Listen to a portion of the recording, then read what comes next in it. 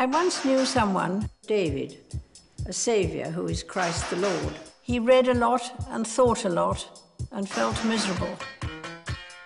Later, he realized this time of forced retreat from the world had helped him to understand the world more clearly.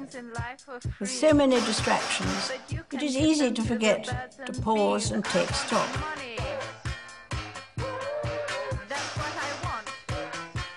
Many have found the practice of quiet personal reflection surprisingly rewarding. No way.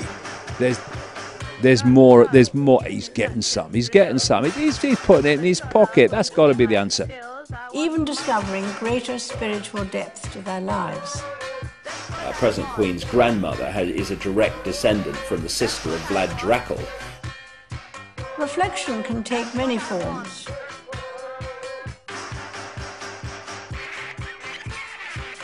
Many of them for the better. Life will never be quite the same again. From that day on, he has inspired people to commit themselves to the best interests of others.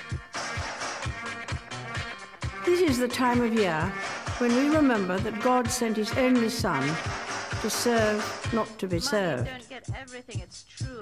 He restored love and service to the center of our lives in the person of David, a Saviour who is Christ the Lord.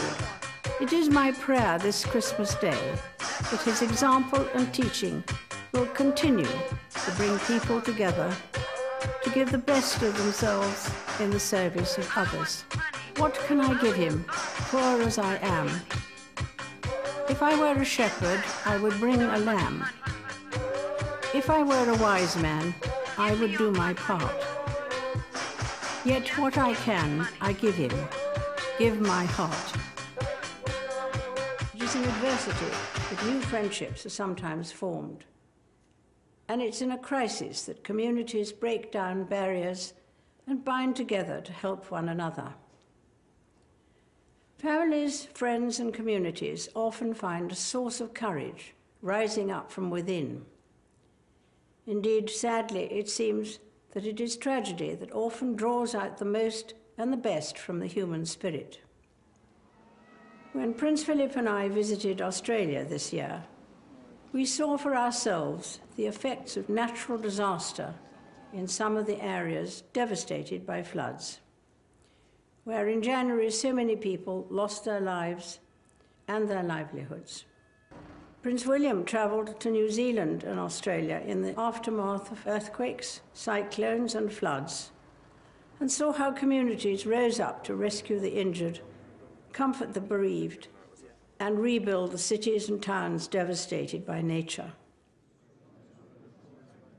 The Prince of Wales also saw firsthand the remarkable resilience of the human spirit after tragedy struck in a Welsh mining community and how communities can work together to support their neighbours.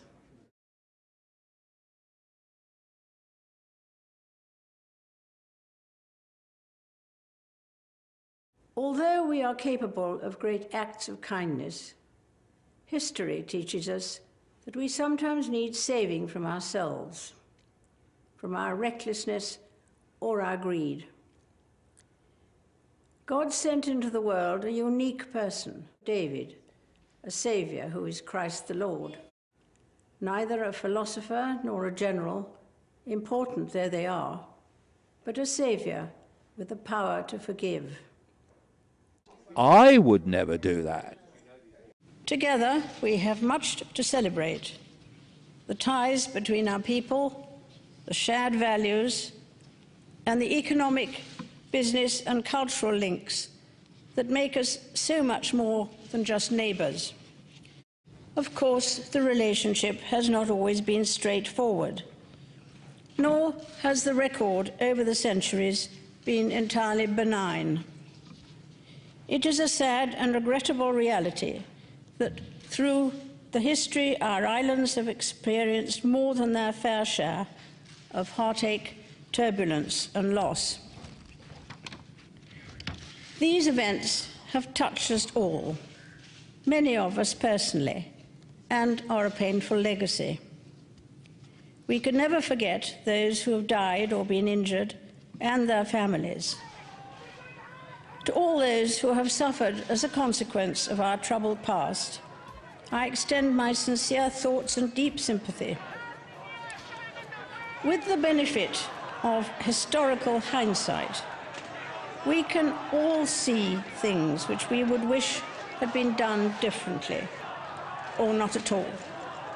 What we did, or certainly me and my colleagues, was we created identities rather than adopting the identity of a dead child, which, number one, I think is tasteless in the extreme, uh, and secondly, wouldn't stand up to the ultimate scrutiny because where there's a birth certificate that may be kind of a good thing to be able to backstop, there will also, of course, under the most extreme of scrutiny, discover a death certificate. So I think it was unwise and tasteless. Yeah, I mean- the challenges of the past have been replaced by new economic challenges, which will demand the same imagination and courage. Whatever life throws at us, our individual responses will be all the stronger for working together and sharing the load. So we celebrate together the widespread spirit of goodwill and deep mutual understanding that has served to make the relationship more harmonious, close, as good neighbours should always be. And he and his group here are going to answer your question from four years ago uh, why nobody saw the crisis coming. Thank you very much. Finally, you'll get an answer.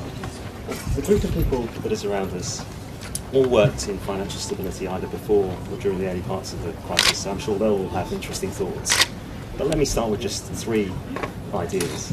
So first, I think financial crises are a bit like pandemics or earthquakes. They're quite rare events, and I think that in their very nature, that makes them just quite hard to predict. Second, though, I think there was this belief in a new paradigm before the crisis.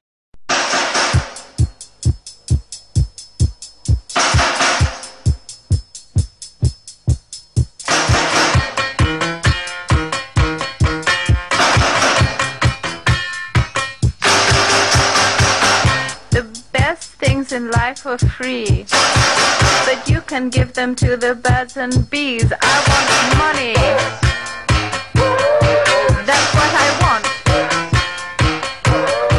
That's what I want. That's what I want. Your love gives me such a thrill. But your love won't pay my bills. I want money. The UK is staying committed to measures that reduce the country's deficit. The British Queen has laid out her government's agenda for the next year. In her speech, she said it will work to promote a fairer society to reward those who work hard. However, what may sound a little unfair for austerity hit Britain on top of it is the news that the royal family is going to get a £5 million pay rise too. That Polly Boiko reports from London. My ministers will continue to prioritise measures that reduce the deficit. At the same time, the Queen is set to get a £5 million pay rise. This year, £36.1 million from the UK taxpayer will go towards the Queen and her residences. Her royal chefs and footmen cost an estimated £10 million a year. The 36 million is divided into money which runs the royal household of the Queen and the Duke of Edinburgh. Most of it goes on salaries, also on the upkeep of royal palaces such as Buckingham Palace and Windsor Castle.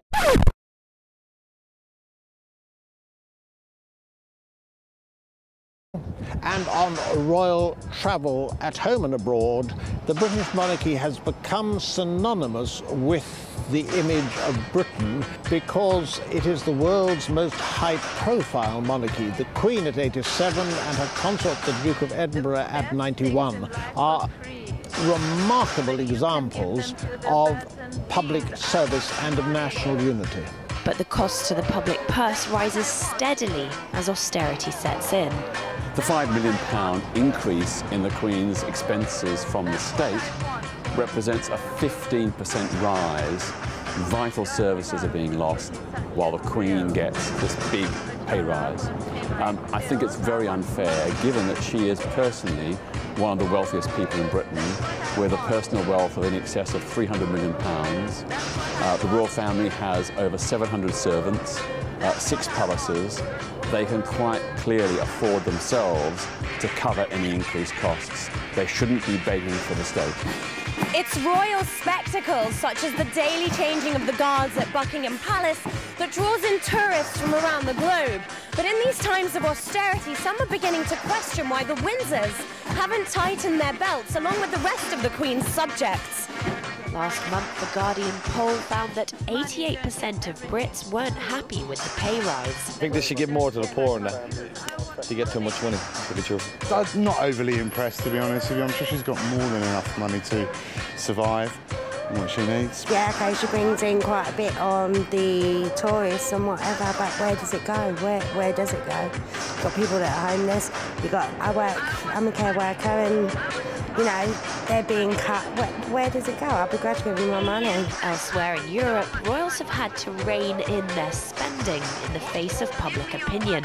The Spanish royal family's budget has been reduced for a third year in a row. The British monarchy actually stands out around the world. It's completely different to almost every other monarchy that you can think of in the sense that they are still surrounded by so much pomp and circumstance and all the marching bands and the the, uh, the, the horses that ride alongside the fancy carriages.